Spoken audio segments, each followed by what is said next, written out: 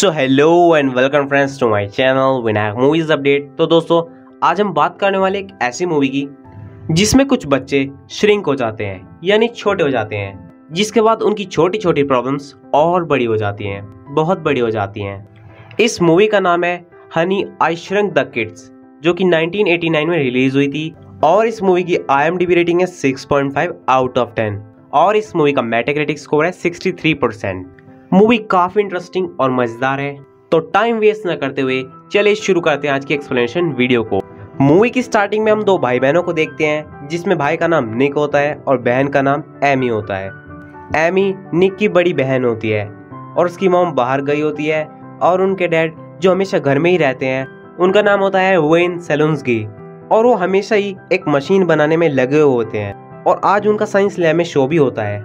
और हमेशा की तरह आज भी वो अपनी मशीन पूरी करने में लगे हुए हैं। जिस कारण उनके पड़ोसी भी उनसे परेशान रहते हैं, क्योंकि दिन भर शोर होता रहता है।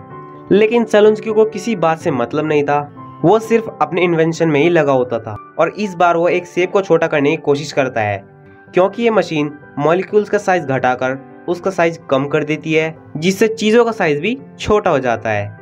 लेकिन वो एक्सपेरिमेंट फेल हो जाता है और उसकी मशीन काम नहीं करती है।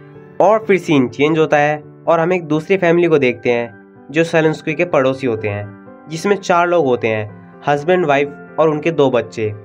वो सभी प्लान कर रहे होते हैं एक ट्रिप पर जाने का, जहाँ पर वो फ़िश पकड़ेंगे बहुत सारी। और फिर हम देखते हैं सेलेंस्की को, जो कि एक साइंस के शो में होता है, जहाँ सभी साइंटिस्ट उसका मज़ाक करते हैं, क्योंकि उसकी बातों पर कोई यकीन नहीं करता कि कोई एक मशीन मॉलिक्यूल्स का साइज़ छोटा कर सकता है, जिससे कोई भी चीज़ छोटी हो जाएगी। और जब किसी को इस बात पर भरोसा नहीं होता तो सलून्सकी परेशान होकर अपने घर की तरफ़ चल देता है।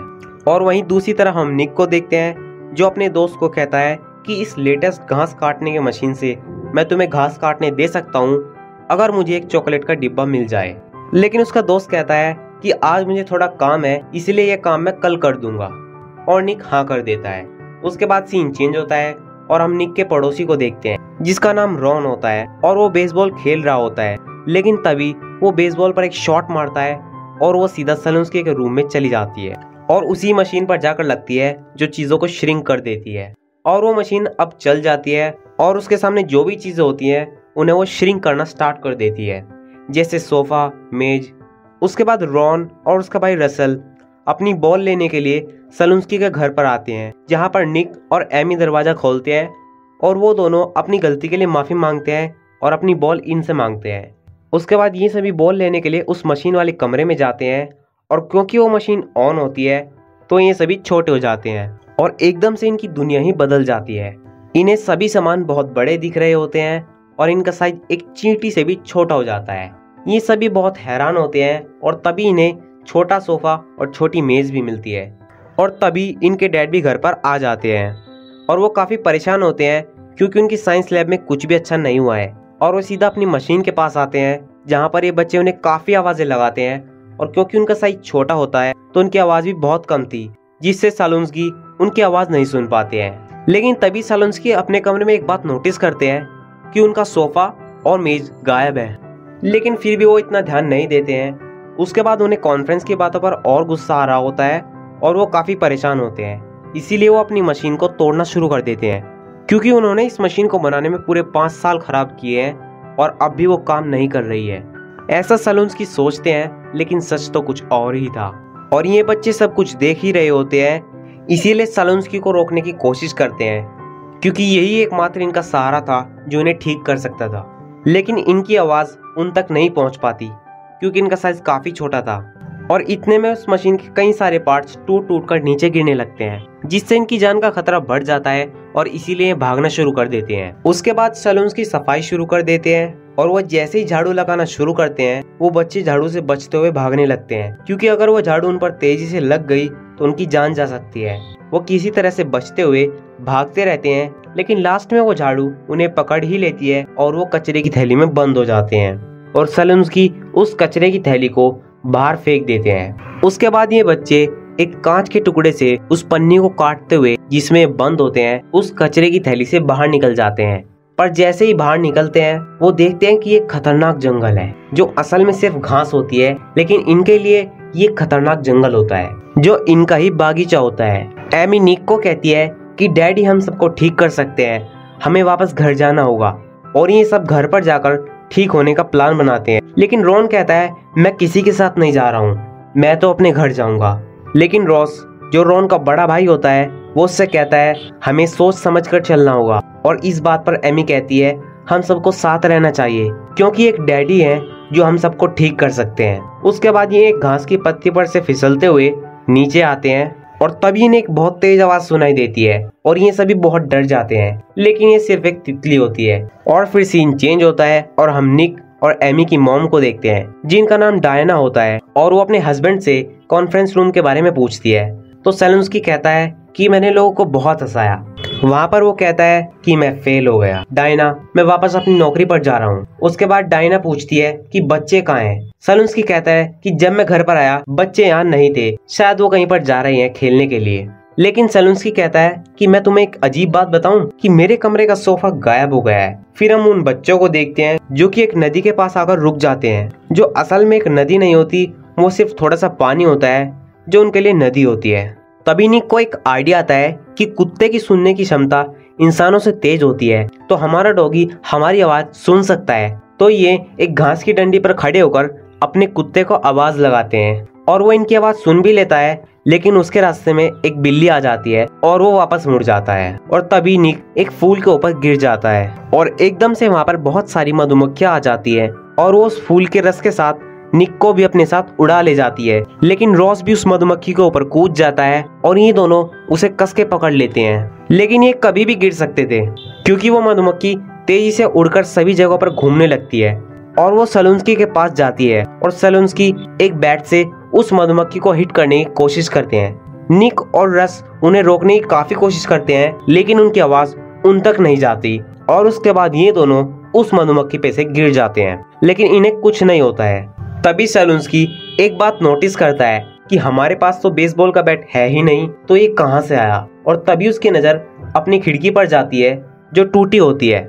और इसका मतलब है कि बेसबॉल अंदर आई है तो वो अपने कमरे में जाता है जहाँ पर उसे अपना सोफा दिखता है, जिसका साइज़ बहुत ही ज़्यादा छोटा हो चुका होता है। और इससे वो समझ जाता है कि उसकी मशीन अब काम करने लगी थी और इसके बाद तुरंत सलून्सकी वहीं पर निक और एमी को आवाज़ मारना शुरू कर देता है, क्योंकि वह समझ चुका होता है कि उनके बच्चे भी अब श्रिंक हो चुके हैं। और फिर उनका ध्यान अपनी झाड़ू पर जाता है, जिससे उन्हें याद आता है कि उन्होंने कचरा बाहर फेंक दिया था। और इसीलिए वो अपने गार्डन में जाते हैं, जहाँ पर वो ये अंदाज़ा लगा लेते हैं कि उनके बच्चे इसी गार्डन में होंगे, इसलिए वो अपने गार्डन में ही उन्हें ढूंढना शुरू कर देते हैं। और ढूंढते वक्त उनसे गलती से पानी की टंकी ऑन हो जाती है, जिससे पूरे गार्डन के शावर्स ऑन हो जाते हैं। और एकदम से इन सभी बच्चों पर मोटे बूंदों की बरसात शुरू हो जाती है। और इसीलिए ये सभी बचकर भागना शुरू कर देते हैं। एमी और रॉन एक साथ होते हैं और रसल और निक एक साथ होते हैं, क्योंकि ये मधुमक्खी के कारण दूसरी जगह पर पहुँच गए थे और तभी आपस में मिल जाते हैं। लेकिन एमी एक छोटे दलदल में गिर जाती है और उसकी जान बचाने के लिए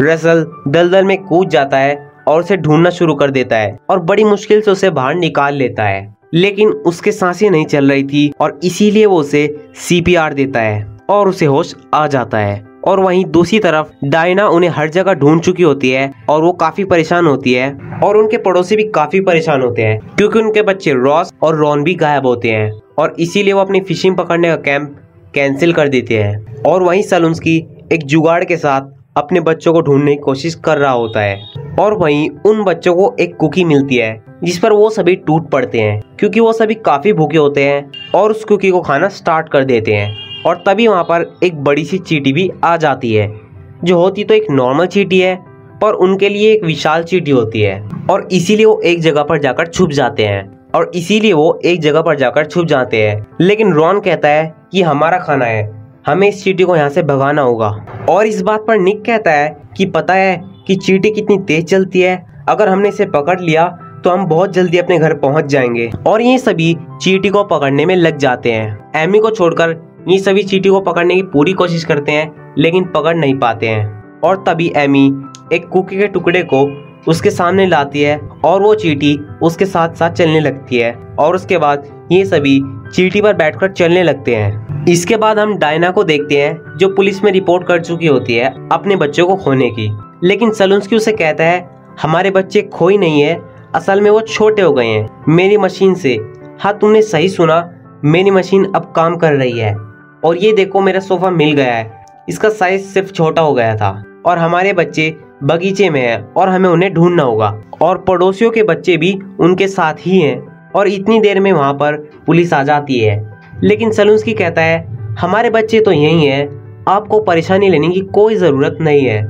और पुलिस वहाँ से चली जाती है। और उसके बाद हस्बैंड वाइफ दोनों मिलकर अपने बच्चों को ढूंढना शुरू कर देते हैं। और वहीं ये बच्चे जो चीटी को छोड़ देते हैं जिससे वो अपने घर पर जा सके। लेकिन इन सभी को उस चीटी से काफ़ी लगाव हो चुका होता है। लेकिन ये फिर भी उसे छोड़ देते हैं। और यहाँ सलून्सकी के पड़ोसी भी काफ़ी परेशान होते हैं और इसीलिए रोज के डैड एक सिगरेट जलाते हैं और सलून्सकी के गार्डन में फेंक देते हैं। और वो सिगरेट सीधा उन बच्चों के पास आकर गिरती है, जिसकी आग से ये बच्चे एक मशाल बना लेते हैं। जिससे वो रात में सफ़र कर सकें। और यहाँ पर सलून्सकी और उसकी वाइफ अपने पड़ोसियों को सारी सच्चाई बता देते हैं, लेकिन उनकी बातों पर लेकिन उनकी बातों पर कोई यकीन नहीं करता।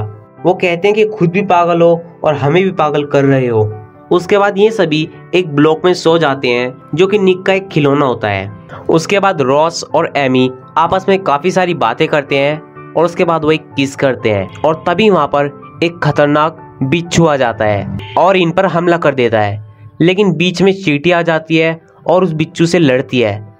लेकिन वो बिच्छू काफ़ी बड़ा होता है और चीटी काफ़ी छोटी होती है। और इसीलिए ये सभी चीटी की जान बचाने की कोशिश करते हैं, लेकिन बचा नहीं पाते हैं और वो चीटी मर जाती है। और इस बात का इन सभी को काफ़ी दुख होता है। उसके बाद हम सलुंसकी को देखते हैं, जो कि अपनी मशीन ठीक कर चुके होते हैं। जिसे उन्होंने पहले तोड़ दिया था। और इसके बाद हम उसी लड़के को देखते हैं, जिसे निक ने कहा था कि तुम मेरे गार्डन की घास काट सकते हो, अगर तुम मुझे एक चॉकलेट दे दो। और इसीलिए अब वो इस गार्डन की घास को काटने लगता है। लेकिन ये बहुत खतरनाक है, क्योंकि ये बच्चे उसी गार्डन में है, जिस गार्डन की घास को ये काटने वाला है। और इस बात का इन बच्चों को जल्दी ही पता चल जाता है, क्योंकि पूरी धरती इनके लिए हिलना शुरू हो जाती है, क्योंकि ये मशीन काफ़ी पावरफुल होती है। और इसका वैक्यूम भी काफ़ी तेज होता है और इससे बचने के लिए ये भागना शुरू कर देते हैं और भागते भागते एक गड्ढे में कूद जाते हैं, जो कि अर्थ वॉर्म्स का घर होता है। लेकिन उसमें कोई भी अर्थवॉर्म